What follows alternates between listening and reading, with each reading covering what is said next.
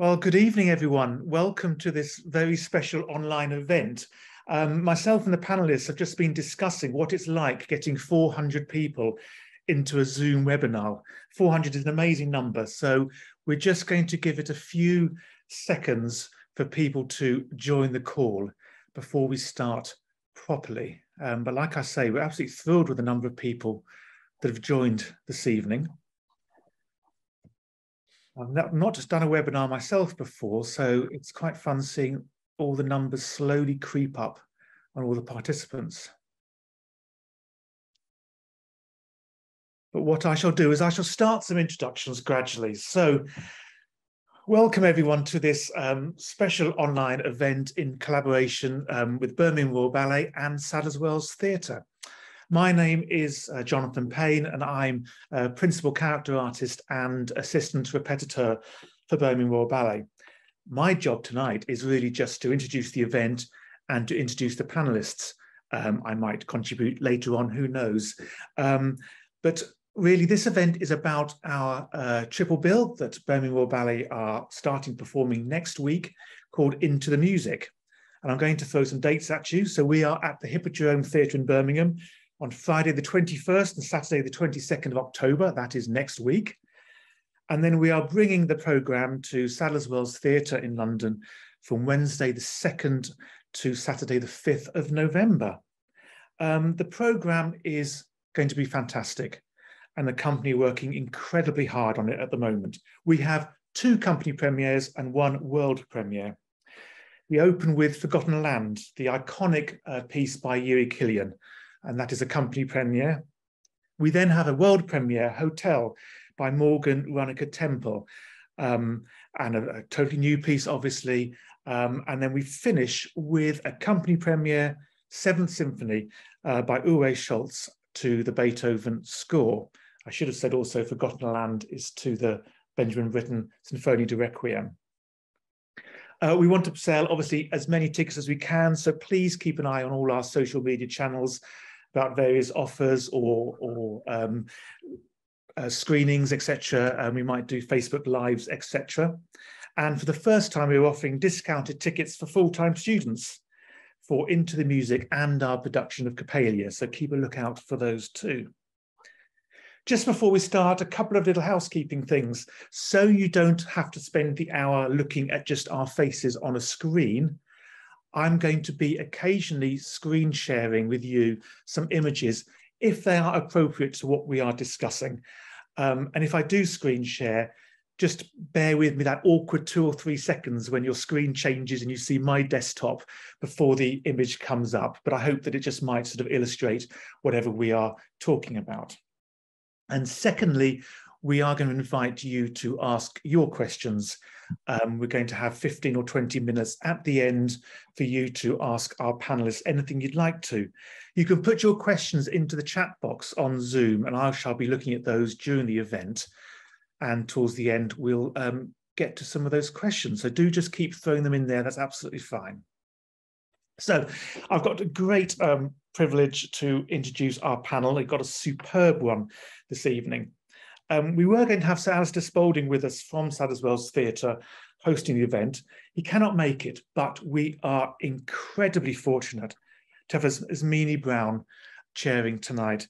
Ismene is an arts journalist. I'm sure you all know her very well. She was dance critic for over 20 years of The Spectator and Daily Telegraph and founded the website The Arts Desk. So Ismene, thank you very much for joining us this evening.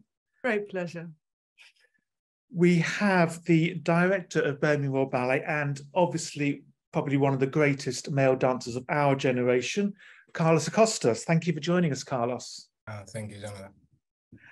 And we also have Celine Gittens. Celine is a principal with Birmingham Royal Ballet, has spent all her career with the company.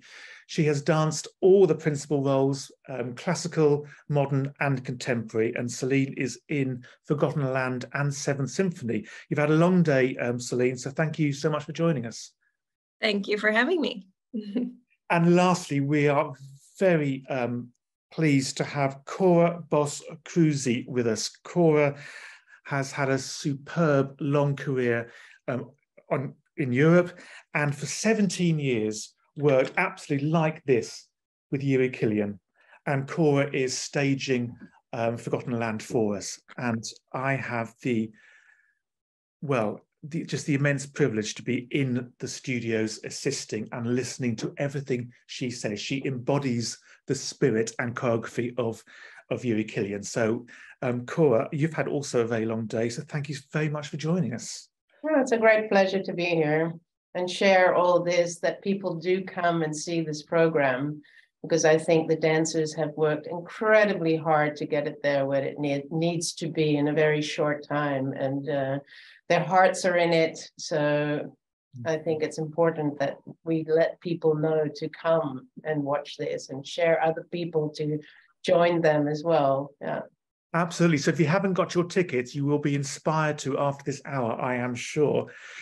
So, that, so that, enough from me for a Anyway, I'm going to pass over to Ismene Brown to um, start us off. Ismene. Hello, everybody. A great pleasure for us to have this um, conversation. Um, we are partly, well, quite a lot of this webinar is about Yuri Kylián, who is 75 this year. And uh, he's perhaps the most celebrated of the generation of major European ballet choreographers who emerged in the ballet boom of the 70s. And the popularity and renown of Netherlands dance theatre, of course, over the past quarter century is down to him. But he's also part of a very dynamic and large story of the boom in European ballet that emerged from proteges of John Cranko, the Royal Ballet choreographer who left for Germany in 1960 and who soon after joined by Kenneth Macmillan for several years. And other Cranko alumni, such as John Neumeier and William Forsythe, are of course household names. And in the 70s, Germany and Holland became powerhouses of um, ballet companies like Stuttgart Ballet, Frankfurt, Hamburg, Berlin, and of course, NDT. Uwe Scholz, we know another choreographer on this bill, was also a Cranko school dance student, one of the last um, before Cranko's untimely death, and he became director of Leipzig Ballet. So this bill is really reconnecting the boom in Germany and Holland with its original bloodline in Britain. And the British relatives, in a way, are rediscovering the extended family uh, that they didn't really know about. We've seen many of Kylián's ballets on numerous visits by the three NDT companies on British tours. And actually, some ballets have been performed by British companies over the past 30, 40 years. Symphony of Psalms and Petite Mort at Rambert, uh, Petite Mort more recently at English National Ballet, and Return to the Strange Land and Sinfonietta at the Royal Ballet. And the Royal Ballet School and ENB School have performed Kylián's dances in graduation showcases. But this is a big landmark in Kylián's um, work that we're about to see. And Carlos, the first for Birmingham Royal Ballet. That's right. That's right. When I first joined the company as the director, uh, I realized that uh, the Birmingham Royal Ballet never performed a Kylián before, and I, I set my, you know, a goal to change that.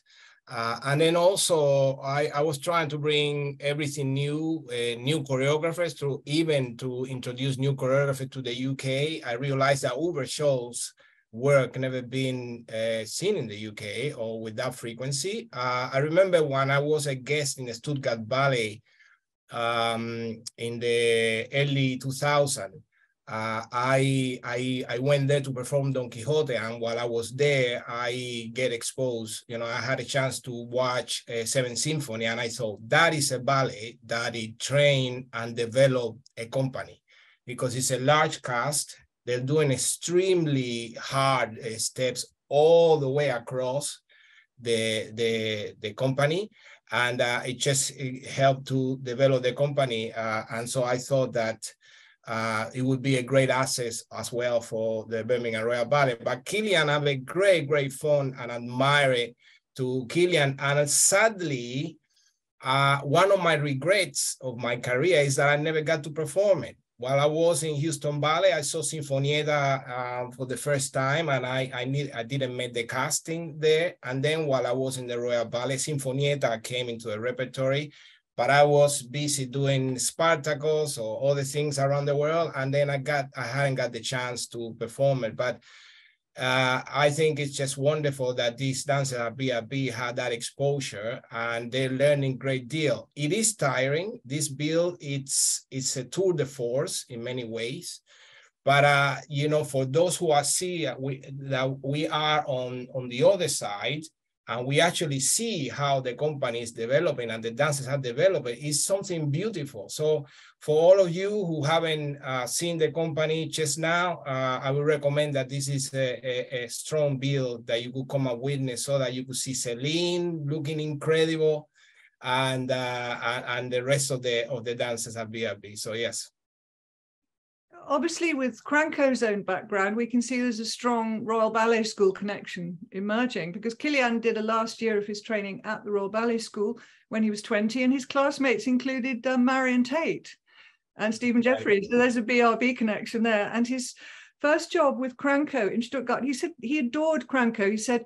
Cranko gave people chances and he had a tremendous ability to build people.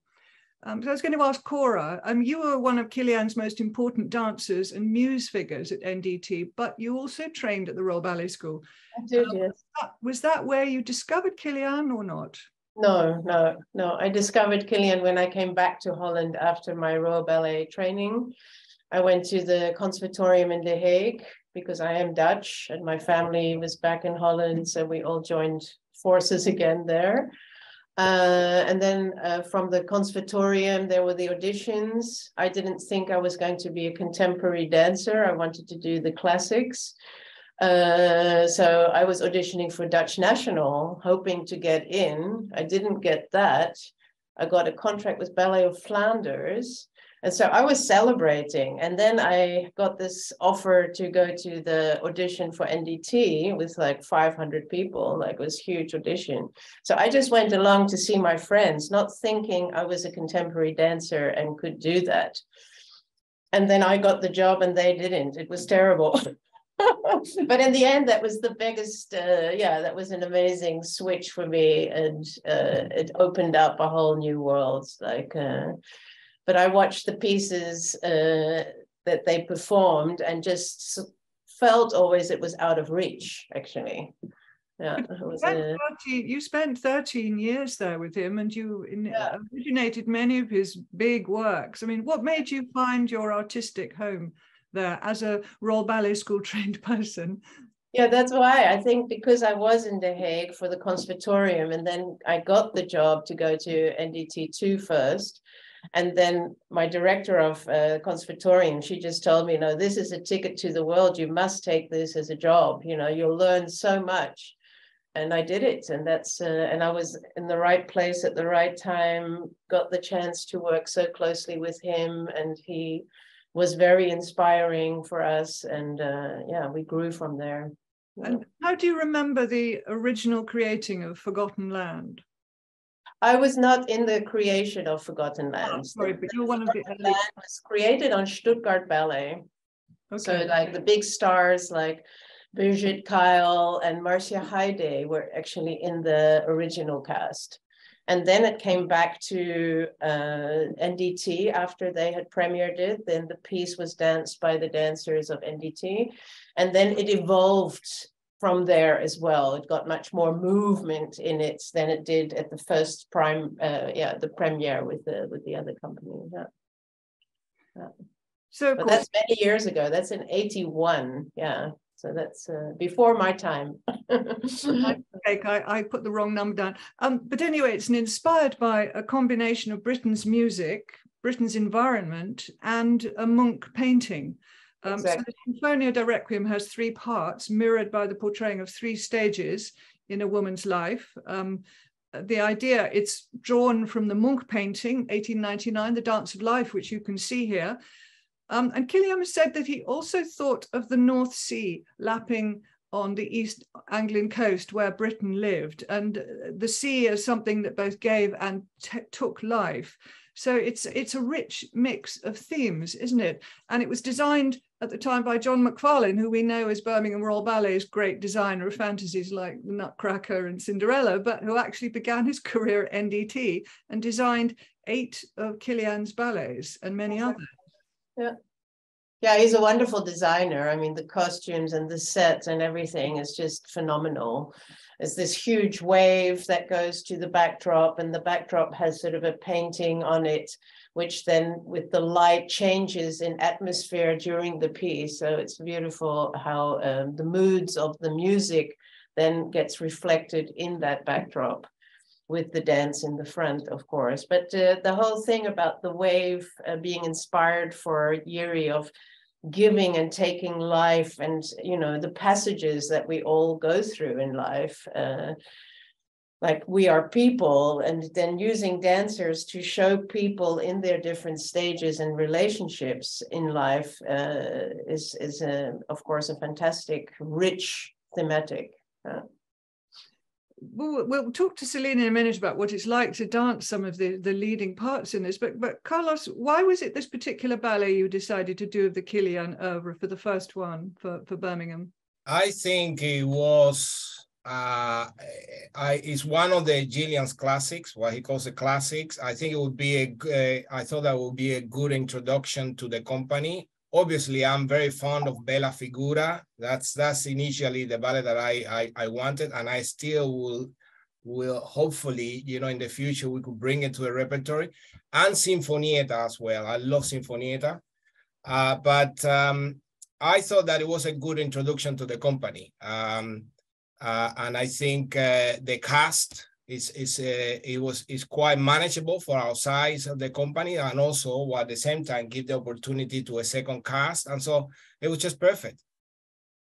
What let's talk about what it's like to change from classical to Kylián style because Cora you were just saying when you auditioned and you joined the company you did feel that it was a distinct switch of of, of style and feeling to it um, well, what one sees is actually I would say it's what you might call a new ballet it's a ballet it's not contemporary dance in the sense that it clearly uses ballet vocabulary and it's it's very fluid it's very lyrical and and deeply grounded um, and personally, I've seen echoes of folk dance in it, for instance, almost the uh, physical and emotional engagements of social dancing as well.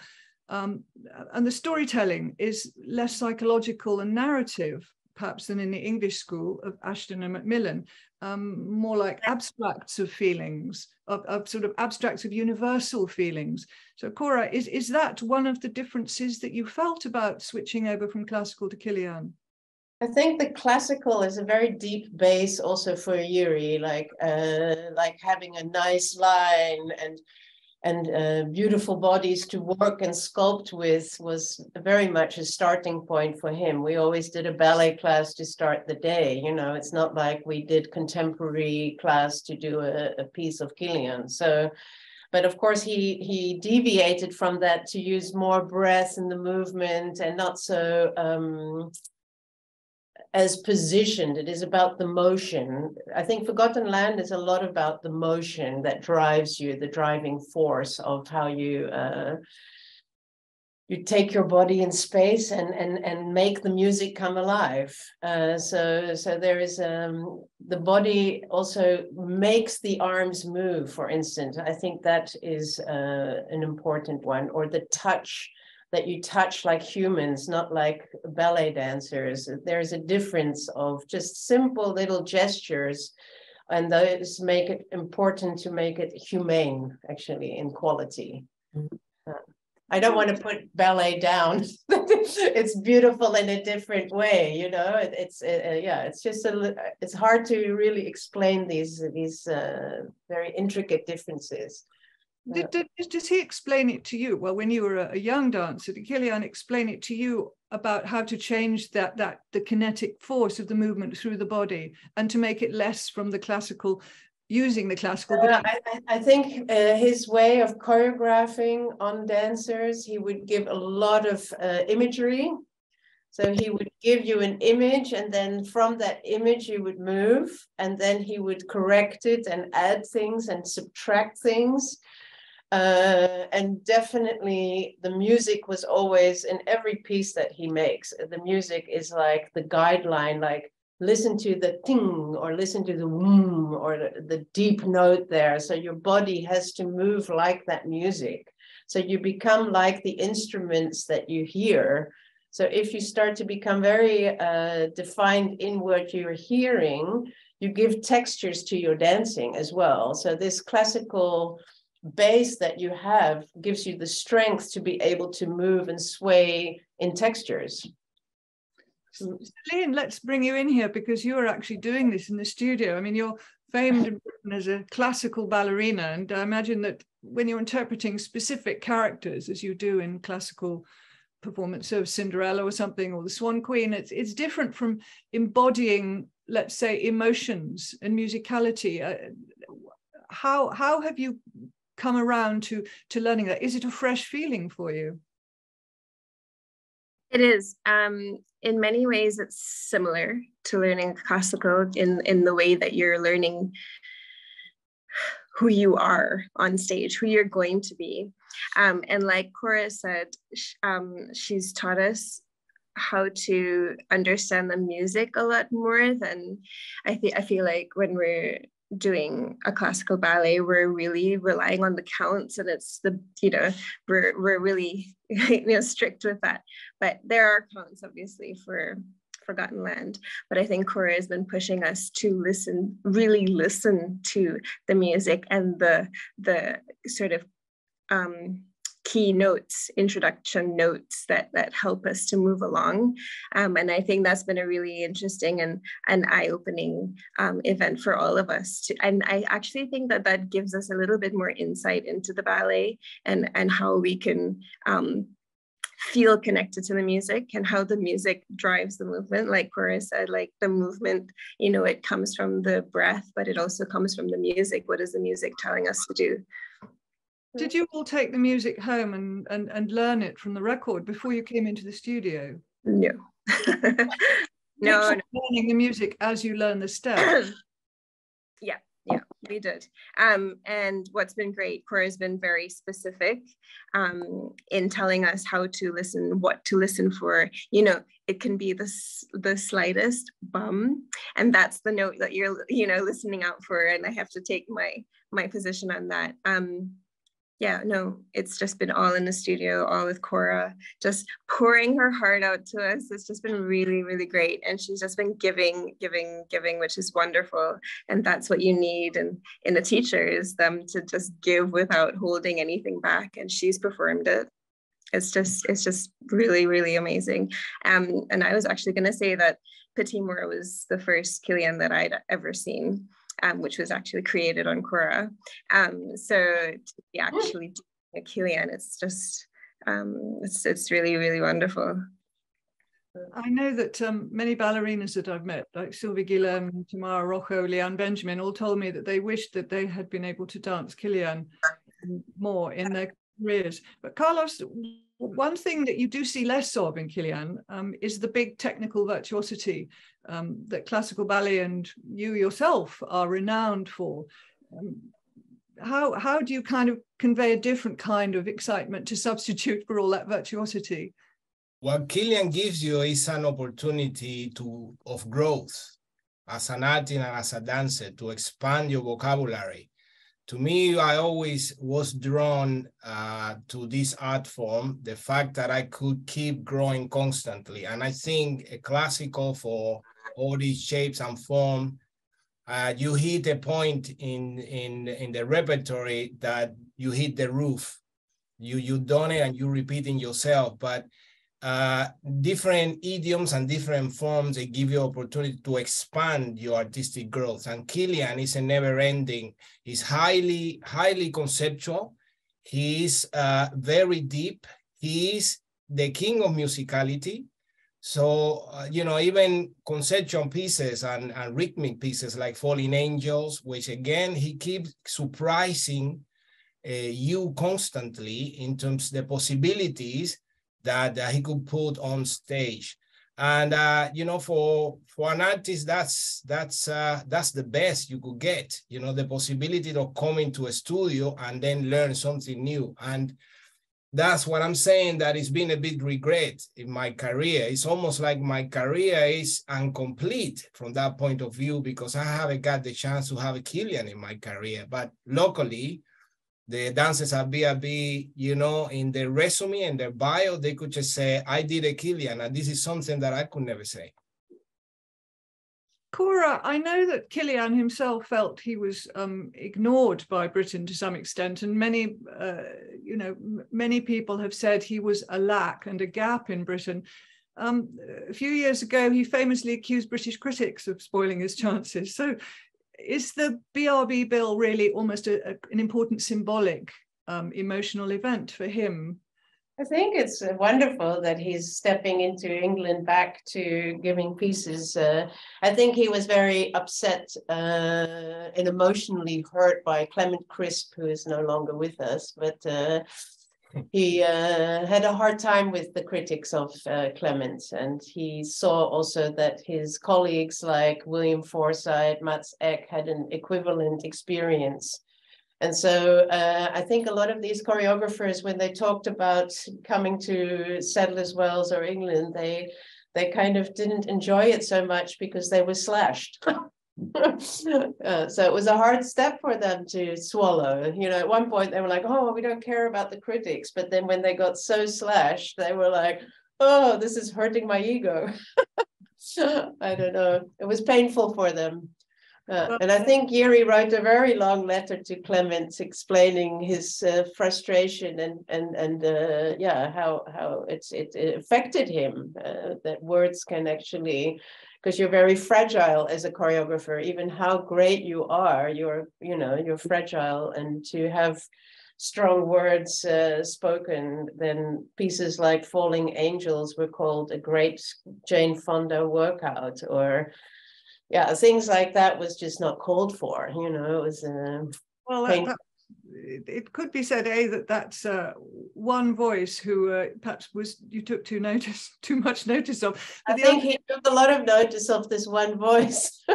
I, don't think companies, to be honest, um, to my regret take as yeah, very much notice of critics. but uh, in a sense, then, but but I mean, Birmingham Royal Ballet doing this is this the start of a new relationship? Do you think um, of, of Kylián? I hope so. I hope so. It's it's uh, let let's see if if they are willing to continue with this. But my my experience here now has been really wonderful with the dancers, and I will portray that back to him. So um, yeah. I, I, think it's interesting that there was really, or I could explain it, there was really a boom in strong choreography simultaneously in Britain and in Germany, or perhaps the German one came slightly later, because of course um, Cranko and Macmillan both went to Germany to um, flex their muscles in a sense and spread their wings because they felt um, there wasn't enough room in the well-stocked Royal Ballet, for instance. So Tudor, I think, did the same. Um, and Cranko launched this new boom over there. So I think Kylián was made a couple of offers by the Royal Ballet, but they weren't on very uh, helpful kind of working condition terms. One was from Nureyev, I think that he thought that might be a bit unbalanced, um, and another from Royal Ballet, the touring company. Um, but um, you know, you've got Cranko, Kylián, Neumeier, Forsythe, Tetley, and so on, just when um, Ashton Macmillan are inspiring Bintley and Jonathan Burrows, Michael Clark, you know, and then in the contemporary scene, you've got Bob Cohan and Richard Alston, Christopher Bruce, and so on. You might say there's a sort of excess of riches. So, Carlos, um, this actually comes around to you, really. I mean, you know from the BRB's rep what a bounty you've got to choose from, and commissioning is tricky, isn't it? Deciding what to acquire. Yes, obviously, yeah, there's a lot of choices there. But I mean, I mean, for me, I I felt that, like Cora was stating, um, I, we don't see enough of Kylián in these shores, uh, and uh, he's got so much wonderful pieces that the UK audiences and the companies alike are are um, uh, just bypassing them somehow. Uh, and I think, you know, it's a must. Obviously, I'm a fond of Christopher Bruce. I, I work with him a lot uh, in Rooster. He's uh, uh, Cruel Garden, which is a masterpiece that, uh, you know, uh, hopefully we can revive it at some point. I think the pieces like that, um, they still have a place uh, today and uh, but i just i just wanted to bring new choreographer new experiences to the like you say the vast repertory that the company have. Uh, while at the same time pieces that are very physical and that can develop the dancers across the board not just the principal dancer but everyone. Uh, uh and uh, i think uh, this is just the beginning for the relationship that i would like to to for BRB to form with with the Kylián rep. but there will be other choreographers coming because uh, I think in the diversity of choices and vocabularies, that's how you build the dances. Um, and uh, since the beginning, I've been throwing so much at them. You know, it's a, it's a big shock, uh, uh but uh, I think it's a beautiful one because I think it shows, you know, the development of the company, and I think uh, I think on, on that on that um, is the route that I'm going to follow. Céline, I wanted to ask you a bit more about this this question of developing your career because it, this is you've been um, a, a, ballerina now in the classical world for quite a, for quite a long time now. Is is Kylián something that enables you to feel that you can um, extend your career in a sense because you're not having to do all the you know the pirouettes and the and, and the you know the more virtuosic stuff is this something that you can act well after all um, Kylián has, I'm not saying you need to do that. What I'm saying is that Kylián has uh, developed a style that he was able, for instance, to have a third company of NDT. For he's able to extend the career from very young to really as as long as you like. I mean, is it quite body friendly? I suppose is what I'm asking. I was actually going to say that because we are so classically trained. Um, you know, a pointe work, all that, we've found it difficult to um, switch to a more, um, I guess, turned in. and a, a ballet, soft ballet shoes. Um, you know, we opened our season with Coppelia last week, and coming into this week with rehearsals for Forgotten Land, you know, on Monday, Tuesday, my thighs were really sore because it's just a different way of using the muscles. So I don't actually think it's easier. It's not easier. I think actually it is a bit harder, you know. Um, you have to feel that sort of, it's a different feeling. It's not, you know, whereas in classical ballet, it's more light up feeling, you know, in the, to pull up through the pointe shoe. And then now we have, we still feel up, but there's a more sort of grounded feeling. Um, the lifts are, you know, tricky but exciting. I don't think that it is easier. We do pirouettes as well. We do do pirouettes. so, you know. I didn't mean to say that it's easier. What I meant that because um, let's say it's because you're adding a new string to your bow and because you're not having to do i mean multiple fouettes and all that sort of thing which is really very hard on the body and prone makes you prone to injuries and so on. This mm-hmm. is a more holistic way of movement is uh, mm, yeah yeah you could look at it, look at it that way. Um, i think for myself i look at myself as being a versatile dancer. I've you know i've done contemporary work with brb before. And so moving into Kylián's work has been it's been easy because of the previous that we've done. Um, so yeah, in a way, I, I can understand what you're trying to say that it does extend, you know, your options um, and your pathways. And yes, it would, if you're interested what's the partnering feeling that's different now? Because in ballet, um, classical ballet, the presentation of the woman by the man has quite sort of a specific sort of um, sexual presentation in a sense. Um, you know, you're the beautiful object and you're doing all this very beautiful stuff, but actually the man is presenting you. But is there, do you have a, a sense of it more um, democratic, more equal kind of partnering that goes on in Kylián? Yes, there is. There is the reverse. Um, can everyone hear me okay? Yeah, you're jumping. Can you hear me okay? Yeah. Uh, it is yeah, is getting a bit choppy. Um, there is a reverse of partnering. So I partner my partner, Tyrone, um, and then also I partner a girl um, in a trio bit. Uh, so yeah, there is the reverse. So we get that sort of different feeling. We get the understanding of what it is like to partner someone, which is, you know, it's not difficult to keep someone on their on their leg and support them. Can I just add to that a little bit? I think with the Kylián uh, uh, with the Forgotten Land, let's just uh, that's it's it's like uh, the partnership is a lot more off balance. Like you're pulling away from each other and you're pulling towards each other. You have to give the weight. It's it's a different thing than partnering when somebody's doing a pirouette or putting them on their leg as, as an arabesque. No, of course you do also all the tricks and everything like this. You need each other totally, but there is a lot of push and pull. Push and pull is a good thing to explain. Yeah. between each other. You need trust. And once you slip, that's you got to have a good grip to be able to do and feel the freedom.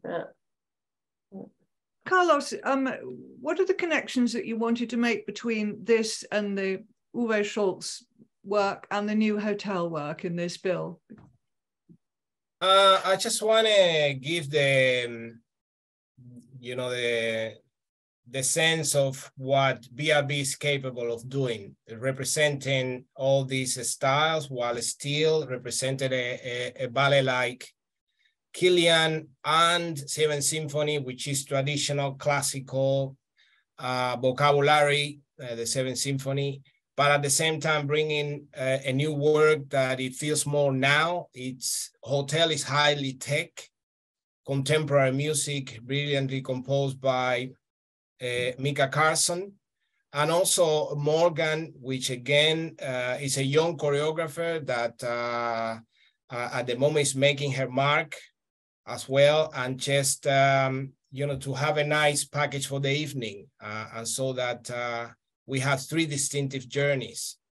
So that's that's that's the idea. Uh, so that doesn't feel, uh, uh, feel unidimensional uh, and, and also at the same time showing off the new talents coming uh, through, through, through the company.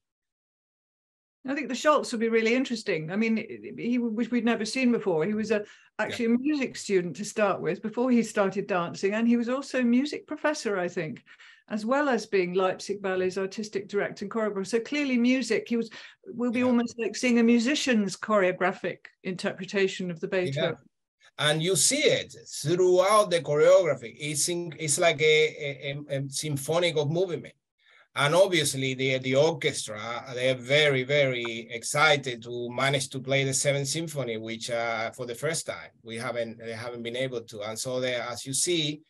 It's very, it features, the program features the music as well, uh, hence why it's called Into the Music you know, having Britten and having also Seventh Symphony and Mikael Karlsson. So I think from that point of view, the musical musical point of view is very rich as well. Cora, how do you rehearse um, when you're doing such major pieces of music, when the choreographer has responded specifically, um, spontaneously to a major piece of music? Um, when you're teaching that in the studio, I mean, do you use sort of quite stock rehearse uh, recordings in order to teach it? um, and then introduce them all to the live um, experience at the last minute or because i mean obviously you can't rehearse with the orchestra can you until the very end so no, exactly. The, the conductor has been in in the very beginning of my block when i came in. And then today he returned to listen and they've been practicing separate. So i've been working with two different recordings of orchestra works that we go by for tempi. So uh, one video uh, recollection and one really recording that's kind of the base tempi that Jiri actually created on. And of course, that's the one that we keep referring to. And today I spoke of like three moments in that recording that were touch on the fast side so that he can take that in account. So, but we get together really like for three rehearsals before the show that we have the orchestra. So but I think the dancers are used to it, working with live music more. So I, I think uh, it shouldn't be a problem. I think they know their music now. I think I've, I've told them every ping and pong they've got to listen to. So, so I think they've got it. Let's just sum up with what we'll actually see in each of these three ballets. The, the, the Kylián, are we will we see a woman at the three different stages of her life in a white dress and a red dress and a black dress? Is that what we will actually see? We will, yeah. And there are uh, six couples and they're all different co co colors. So we have the red, the pink. So they're also the, and then you have the black and the gray. And then you have the white and the beige. So we have uh, all these colors representing the different stages of life. So the, the white couple is for the, the youthful love, then the black couple is the dark, mature couple, and the red is like in the midst of their life and excitement and flirtatiousness and uh, challenge. And then the pink is the little flirt, the gray is a little bit the struggling couple that sort of keep pushing on. So it represents all these different kind of stages of relationships in life. Uh, and the Scholz, do we see a, a similar sort of semi-narrative in there? I don't think so. I think it's straight. Uh, I mean, at some point you have images that you just strive for, but it's, it's just a symphony of movements. There are waves and cannons, and it's almost a, a portrait of the music uh, through the movements. But uh, you know, it just work, uh, and it's a great finisher as well because it's a large cast. It's very physical. Everybody dances, doing really technical uh, steps and uh and yeah and the seventh symphony it's uh, it leaves you on a cliffhanger kind of stuff. So you finish you hit those last pulse and then black out and you know it, it's that, that kind of um finisher. So but it, it's basically it's just a, a, a, symphony of movement i would say. And the royal ballet sinfonia which i have always thought was the best ballet orchestra in england or britain probably I don't know if I'm going to get in trouble with Scotland there, but but uh, they will be loving this program with so much music to play. Oh yes, yes, definitely. They, I mean, they, yeah. For for the minute that I communicated, I was I was going to bring uh, the Seventh Symphony and Forgotten Land, you know, and all this pill. They they just, you know, they're really really exciting about it. yeah. yeah the conductor is super excited about uh, the Britten playing the Britten. He's like, oh, "It's such a good work. It's such a good piece." uh, it's Jonathan, a challenge also for them. Yeah, it's good. Jonathan, I think we've got lots of questions. We we have had um, several really good ones. I've been writing them down, so I don't have to scroll through the chat box. Um, I think there's some for uh, Carlos particularly. Um, Ross would like to know whether Birmingham Royal Ballet will get to perform Sinfonietta. Oh, I love that work. Oh my God! I, in fact, that was my introduction to um, to Kylián um, while I was in Houston. But I mean, for the time, uh, uh, and actually, that was the the ballet that I wanted to bring. Uh, Cora will remember that. Uh, but uh, I think maybe in the future, uh, at the moment, um, you know we, we we're not planning in the next uh, three four years but yeah definitely for the future you know it's some it's it's another one to look look out for. Yeah. And terry a similar question. Um any plans to bring back hans van manen's grosse fuge oh this is a great work. Yeah not at the moment. I've done it. No yeah you've done it now yeah no definitely Van Manen is another example of a yeah. great European choreographer who hasn't really been able to be exposed very much in Britain, just because there's so much going on in Britain. And I suppose that there, I, have always regretted that you know we haven't been able to see more um, European work.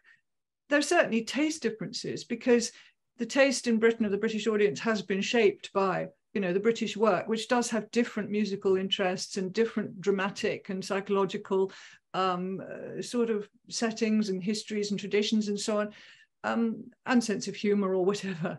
But um, Van Manen, I think, is is like Kylián. You know, you you simply see that there's been so much going on in uh, in Britain that maybe you can say that that's why they haven't been able to make slots for them. Um, I mean, big music also is a big challenge for the for the audience. We do have uh, uh, in our repertory here, Birmingham. Is it Jonathan? Five tangos. We do have. We have five tangos and Grosse Fuge. Yeah. Done both. Yeah. yeah. yeah. But also, so, yeah, I mean, the, uh, and we we have performed here quite a lot. Uh, you know, be, before my time, there was a regular, some of the regular pieces that uh, they would, they would David will bring over and over. I mean, I'm, I'm trying to also expand the repertory and in, into creations. Uh, and so that's why I had to have rooms while, while keeping the traditional uh, uh, classical ballets that uh, is a must have. But, uh, you know, at the moment, it, it's just, you know, I like to also expand by creating new ones. And actually, there's a similar sort of follow up question to that, um, Carlos, and maybe this is for Cora too about um, from Terry again. Are there any um, new young Dutch choreographers that you'd like to um, ask to make pieces for the company? In fact, there is uh, um, Wubkje. Wubkje Uh, yeah. yeah. I am very fond of her work. She's again young, uh, and I'd like to invite her, uh, possibly in a couple of years, to do something with us. And we are in conversation, uh, or, you know, to participate in these productions that I'd like to bring uh, and create for the company. And so, yeah, that's uh, we are in conversation at the moment, and I think it, it will happen in a couple of years. Hmm. Cool. Are there any other choreographers, you know, in, in Holland or elsewhere on Europe that um, should be? I mean, I like Crystal Pite. I like her work a lot.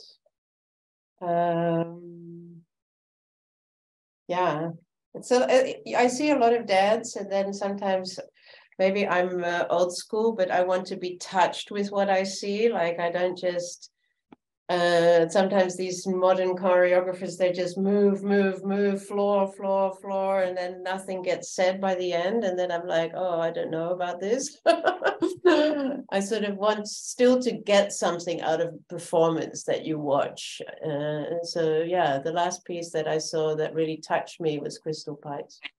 Uh, which is being done in full well flight pattern is about to be flight shown patterns in London at uh, the Royal Ballet in full, a new full full length version. And there is a new creation, I think next Tuesday, I think is the opening night for well, it, no, that's that's the revised version of, Flight Pattern, which is now been expanded to full length. So that would be interesting to see how a, a compressed short work expands.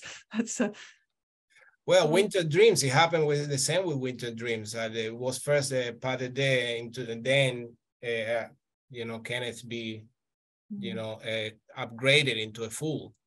Uh, so yeah, we'll see. I mean, I, am a I'm a really great admirer of, of, Crystal. Obviously, everyone, me and everybody else, I suppose. uh, and I, have been in conversation to get uh, Polaris, which is a great piece. Uh, it's great to you could insert the students and it's almost inedit because it always been performed, as far as I know, only once in Sadler's Wells. They only had one run. Obviously, it's a large score, and I, had been set out to try to get into the company, but yeah, I yeah, it, it's a bit difficult. Uh, but uh, but um, you know, again, it, it is a difficult balance, isn't it? Because when what we're talking about here is a, a large globe of, of top level choreography. And if you are also trying to give uh, rising choreographers the chance to try and to be given the chance to fail and not be condemned for right. it, they've got to sit up. I mean, you know, Morgann's going to be sitting there between, you know, Kylián and Scholz, two massive works. Um, you know, good luck to the to the confidence you need as a young as a young choreographer to do that but those spaces must be found because the audience itself must never get complacent and just think oh we'll just pluck the big ones off the tree from the world. Exactly and I, and I think I, I do know the pressure that she must be feel you know uh, but I think you know she should just be confident because I think she's doing a brilliant job. She's bringing something completely different that it feels 21st century now and again, there, there shouldn't be a, a sense of comparison uh, like that, like, but rather, uh, you know, just a mirror to put in, in front of you uh, and, and just react to it. And I think, you know, she's just great. She's doing a massive, a brilliant job. The dancers like her work. The process has been great. Uh, and uh, I think at the end, it's it's great. It's great what she's come coming up with. I've got an, another question that came in a while ago. I think it's, it's a really good one. Um, I'll have to sort of paraphrase it, but it is about do teachers who teach company class in the morning adjust their classes depending on the choreographer that they're working with or the pieces they're working on later in the day? Um, I don't know, maybe Céline could answer that one. I've got my own thoughts too, but. um, well, no, I don't think so. I had class with um, Johnny. well, actually, well, I'll, I'll, give a stab to answering that one if, if, you, if you, don't mind. Then I mean, it's difficult because in when we're rehearsing like this, this um, into the music, they're, they're doing a range of different styles. So you've got to teach a class that sort of covers all bases and get people ready for the day. I teach the company twice a week, and I am aware of the obviously the you know, Achillean. So, for example, Céline would have done this just this morning. Very first warm up at the bar, I start. I can't believe I'm sort of demonstrating on Zoom. It's a bit bizarre, but you know, things through the body and circling the shoulder and circling the head, and then when we get into the centre, not today, but last week, putting a lot of this renverse movement that comes into it, because that that is reflected in the choreography, just to sort of get the cast back into that sort of way of thinking. When we were doing Don Quixote last season, Carlos said to me, "Oh, Jonathan, please, can you make them do double assemblés onto an which I was happy to put into class. So I think it's tricky. I think we have to do a class that covers everything for 60 dancers. But if you can try and bring in elements of the style or the choreography, then that's that's a good thing. I don't know whether Cora has got anything to add to that or. I think that something that stood out today in morning class was that you gave fouettes, um, which is great because we still have to keep ourselves in tune for Coppelia shows, which we're doing, you know, after this triple bill. So we still, you know, still have to keep conditioned in that very classical way as well. Well, that's fine with class because you've got 30, say 30 ladies in class this morning, all, all with different days, all doing different parts in different ballets, different ages. So it's it's a it's a challenge, but exciting one to try and get that um, that that sort of class correct. Um, Carlos, I've got one specifically to you that's coming from Logan. Um, did you get teased at school for doing ballet? Of course. I mean, and that is what make make me run away from it even more. Uh, there was still that stigma, and I suppose there's still that stigma today. Uh, that you know it's something that women do or that men has no place in, and uh, but again, you can imagine in the 80s in Cuba, in where I used to live, how embarrassing was to be a ballet dancer. Uh, all of a sudden, I became the, the neighbor's clown. But, uh, uh, you know, I think it was obviously my story has been very well documented and highly documented. And obviously, my father never gave up. And then three years later, I was hooked and developed this passion. And, uh, and then uh, it became my mission uh, in life. But in the beginning, like any beginnings, it, it, they're very rough. Um, and so I, I, had I had not uh, an exception. One thing I wanted to ask, going back to the question of the music, I mean, this is a bill about music, dance and music, is how tastes of dancers change. Uh, you could have relied, let's say, 30 or 40 years ago, that a lot of younger dancers would know quite a lot of classical music. Today, I think that's not so easy to say, and they are much more used to listening to electronic music or listening to contemporary music of various kinds that really are have moved on quite a bit from um, big 19th century scores. And I wonder how you sort of how do you bring them to that classical music and make them feel that it's fresh and personal to them, as fresh and personal um, as perhaps the music that they're listening to all the time? Perhaps Cora can answer that. Oh, sorry, I was just gonna. Sorry, oh, can I let's that, let's say that we wouldn't be doing this job if we didn't love that kind of music. So that's something that a lot of us who have had started dancing, we started dancing to classical music or, you know, and that's something that draws us to this art form. So that's just, yeah. That's a lovely thing to hear. no, I think that, I mean, and dance is music you need to and i think dancers even love going to go out and dance to disco music whatever but they need to express themselves and music is the key, key to it all yeah uh, we we just have about four minutes left. There's the one question just come in, which I would like to squeeze in. We've partly covered it, but it's a really good question. Um, and it's from Leanne uh, McPherson. I'll just read it straight from the chat box. Other than learning the choreography, I'm interested to know what other exercises, supplementary tasks the dancers do to really understand and convey the story of the choreography, style, mood, music, and characters, etc. It's a bigger but a great question. Who'd like to take that one on? I will. Yeah. Um, yeah, and it's something that I've always done for years now being in the company. Um, you do your own research, you go online. Um, it's wonderful that we have that portal, you know, dancers from previously probably didn't have YouTube and all these things, you know, to see other dancers what they can do and how they did it.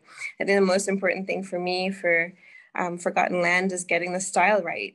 I want to look like you know I was the first person to do Kylián with with Forgotten Land, and I just want to know, and which Cora has been helping us to get it to look authentic. You know that's that's the most important thing. So yeah we do we do our research and to understand exactly what we have to portray. It's a triple bill as well. So each each ballet is completely different. And and we're lucky that we have great repetitors such as Cora, such as Rosa, who's doing Seventh Symphony, that just pours into us all the information, all the background, all the feelings, you know, for us. Of course, then we as artists can have some space to interpret that. But we, I mean, I'm sure Céline, you agree. I mean, we are given so much support and help and advice and ideas to help us get into any particular body that we're rehearsing.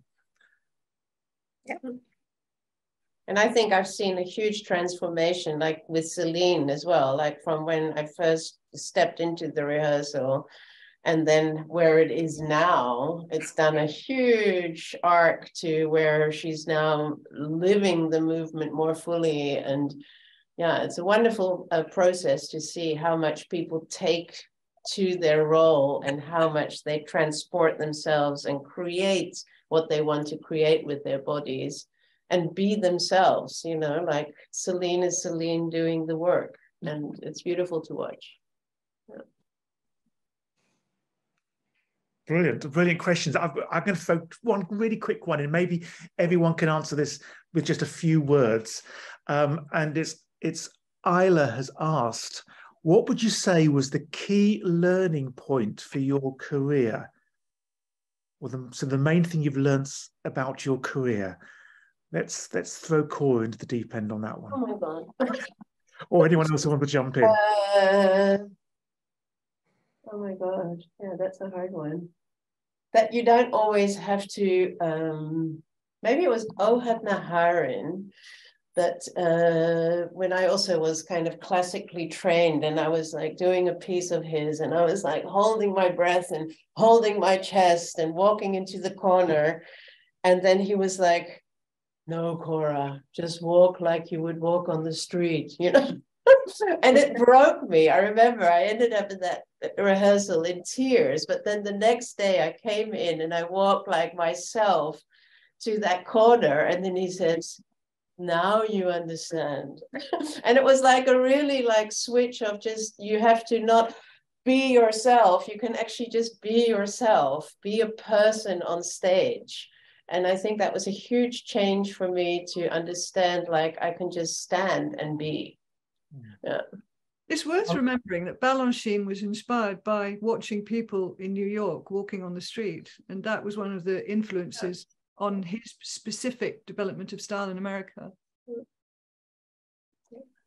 So, Carlos, no, for me, I always had this thing uh, early on, which is basically never give up, always keep curious, always keep uh, trying to me that's the driving force of everything. It's just always always uh, keep keep working to go to the next level.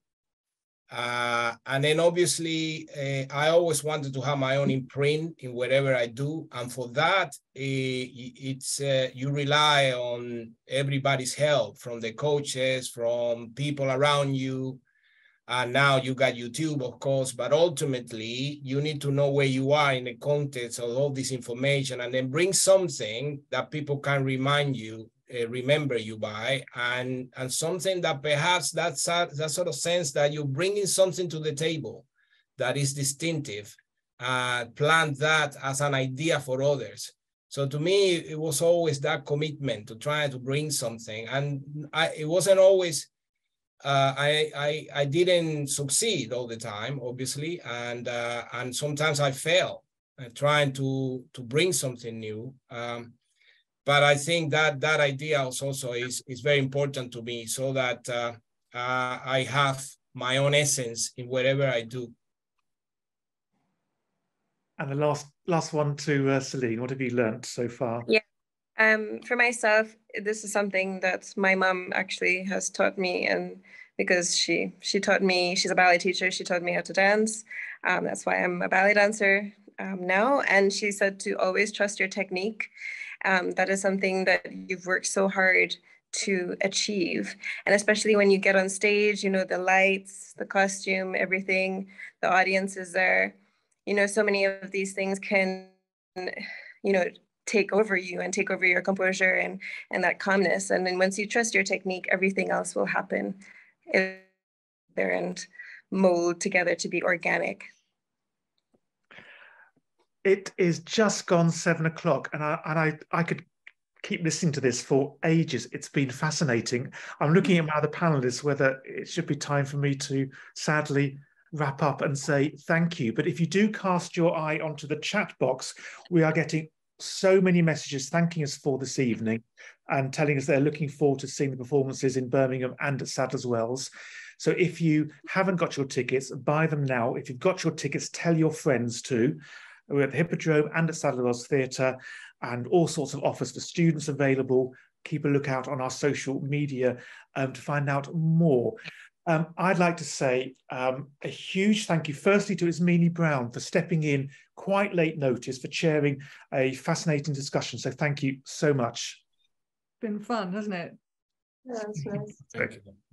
And I'd like to thank again all our panelists, Carlos, Céline, and Cora, for giving so much time and generosity of experiences and thoughts this evening. I'm sure everyone has really appreciated it. Um, and thank you for joining. I hope we can do one of these again soon. I feel sad to be leaving, but I guess we have to say goodbye as the hearts float up my screen, I can see. thank you so much Bye bye. Thank you very much. Thank Bye, you. everybody. Bye.